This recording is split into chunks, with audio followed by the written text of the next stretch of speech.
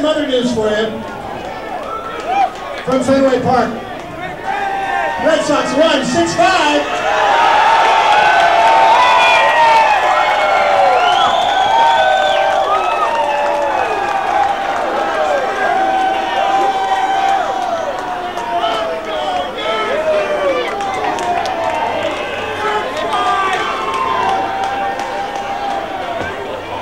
There's Kramer.